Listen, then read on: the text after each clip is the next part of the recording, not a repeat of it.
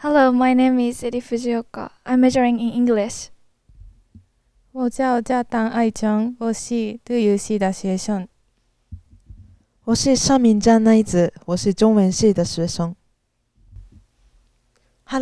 to meet you. 你好，初次见面。